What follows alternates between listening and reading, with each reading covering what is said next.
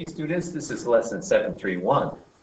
In this lesson, we are going to learn how to solve systems of equations using the graphing method. Uh, we're going to go right away to page 2 in your packet here, and uh, we're going to look at number 2. Uh, it says, consider the equations 3 and 4. Could you graph the solutions of 2x plus y equals 7? Could you graph the solutions of 3x minus y equals 3? Explain. The answer is yes. Those are just linear equations, so the graph would be a line.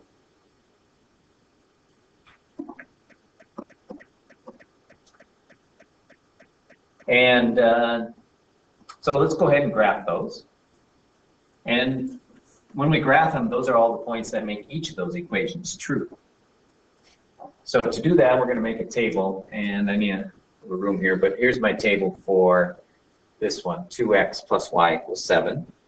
Um, if 2x plus y equals 7, then we know that uh, if I solve it for y, I would just subtract 2x from both sides. So y would equal negative 2x plus 7. So when x is 0, y would be 7, the y-intercept. And when x is 1, y would be 5. When x is 2, y would be 3, etc. I'm uh, the slope is negative 2, so every time I go up 1 in x, I'm going to be going down 1 in y. And then I would graph those, 0, 7, right there, 1, 5, 2, 3, and so on, and we could continue using a slope of negative 2 to fill in the rest of those points. And then we could draw a line through those. And if we solve the other equation for y, this one, uh, I could do that by subtracting 3x from both sides and then dividing both sides by negative 1. And if we do that, we get y equals 3x minus 3. So the points for that equation, the y-intercept is negative 3. Every time x goes up by 1, y goes up by 3. So I get these points. And if I graph those, 0, negative 3, 1, 0, 2, 3, 3, 6, and so on. And if I draw a line through those, I get this graph. And uh, the next question D says, at what point do, at what point or points do they meet? They meet at one point, and that point is 2, 3, and then it says what values of x and y make both this equation and this equation true? That is, what is the solution of this system of equations? So that's what we're talking about, a solution to a system is what solutions do they have in common? And as you can see by the graph and by this table, that um, when x is 2, y is 3. So we call that the solution of the system. And you can find that by making a graph and finding where they intersect. Or you could also make a table and find um, what values they have in common. Okay, the second one here, um, we're going to solve this system of linear equations. Uh, first, we're going to rewrite each of these equations so that y is alone on one side. So we're going to do number two here. So to solve this equation, 2y minus x equals 20. We need y to be alone, so let's add x to both sides. That gives us 2y is equal to x plus 20. Then we're going to divide by 2, both sides, and we end up with y is equal to 1 half x plus 10. And the other equation, 2x equals 5 minus y. To solve that for y, uh, I'm going to subtract 5 from both sides. So I get 2x minus 5 equals negative y. To get rid of this negative, remember the coefficient would be negative 1, so I'm going to divide both sides by negative 1. And I get negative 2x plus 5 is equal to y. Okay, um, at this point I'm going to put both of these equations in my calculator. All right, so the equations are in there. I'm going to graph them using a standard window. And uh, you'll notice that these two lines intersect. And it says if the lines meet, estimate the x and y coordinates. Now, just looking at the graph, you might look down here and notice that at about 2 is where they, negative 2 on the x-axis, and then on the y-axis, 1, 2, 3, 4, 5, 6, 7, 8, 9, about 9. So we could estimate the point to be negative 2, 9. Another way to do that would be to use your trace on your calculator and just trace to where they intersect. And it looks like about negative 2, 9. So that's our estimate. All right.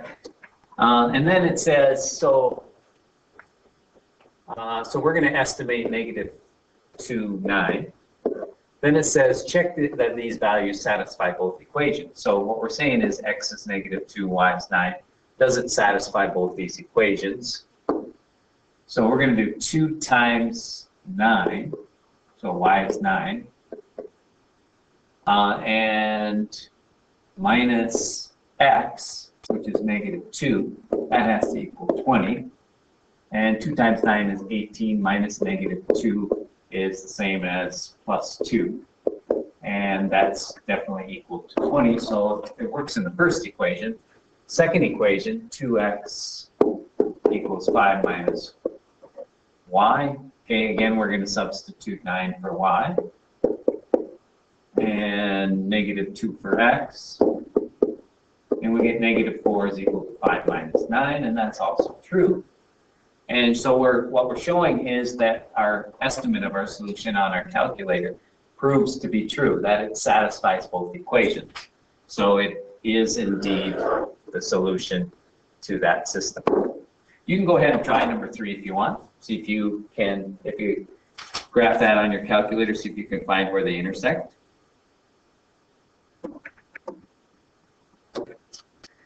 All right, let's do another one here. It says consider these two equations, x plus y equals 5 and 2x equals 12 minus 2y. Graph both of these on one set of axes. This one's written in standard form, so we should use the intercepts. The x-intercept, that's when y equals 0. If you put in 0 in here for y, you would get x equals 5. So that's this point right here on the, oops, sorry, that's this point.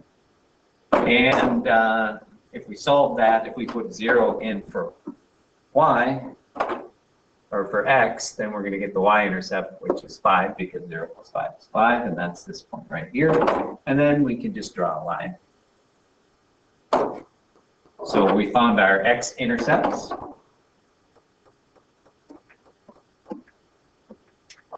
All right, this uh, second equation is would be in standard form if we just add 2y to both sides. So we get 2x plus 2y is equal to 12. And then if I find the intercepts, so if I put in 0 for y, 12 divided by 2 is 6, so x equals 6. And if I put in 0 for x, I get the same thing, 12 divided by 2, y equals 6. So let's put those two on and graph them. Okay, and you might, what you might notice is that when we graph them, the lines appear to be parallel. So um, they're not going to intersect, and we would need them to intersect to have a solution. So we're going to say no, it does not have a solution, and we know because the lines are parallel. They won't intersect. So there's no point of intersection. And then question C says, how could you verify that um, that these graphs don't intersect by looking at the equations? If they were written in slope-intercept form and we noticed that they had the same slope, we could prove that. And I'm just going to use this graph to write this. Um, you'll notice here that the slope of this line is negative 1. So negative 1x and the y-intercept is 6. The slope of this line is the same thing, negative 1. And so that equation is negative 1x plus 5 because the y-intercept is 5. So they both have the same slope. All right, one more problem we're going to do here.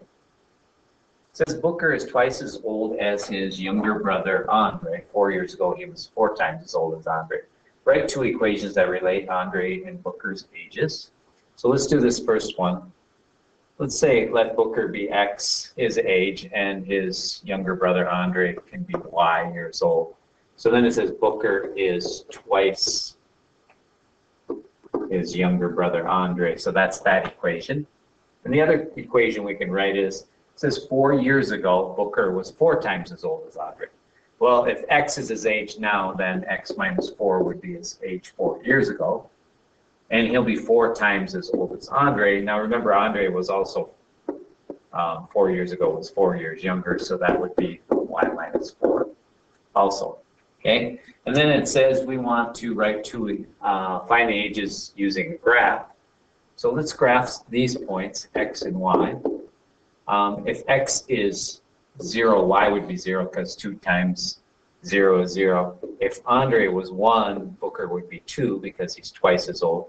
If Andre was two, Booker would be four because he's twice as old. So if we were to graph those points, we would get zero, zero, two, one, four, two, and so on. We could fill in all these like that.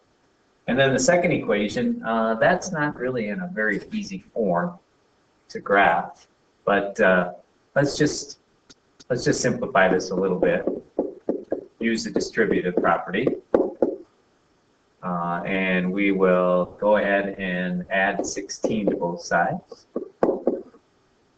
And then we get x plus 12 is equal to 4y. Divide both sides by 4, and we get 1 fourth x plus 3 is equal to y. Now it's in slope-intercept form. So let's get a couple points here. If x is 0, 0 plus 3 is 3. If x is 1, y would be 3 and 1 fourth. We don't really want that. Let's go up by 4. So x is 4, y would be 4, x is 8, y would be 5. So every time, every time Booker gains 4 years, Andre gains 1 there. So, and then if I graph those 0, 3, 4, 4, I get uh, 8, 5, it's right there. 12, 6 is right there, 16, 7, and so on, look like that. And what we're looking for is where they cross, and you might notice that right in here crossed. So we would say that Booker is 12 and Andre is 6. And just thinking about that, right, that's his age right now. Booker is twice Andre's age. And four years ago, he was 8, he was 2. Notice that this is 4 times this. All right, that's the end of the video. Go ahead and uh, try a couple problems, see if you're getting it, and we'll talk more about this next time we meet in class.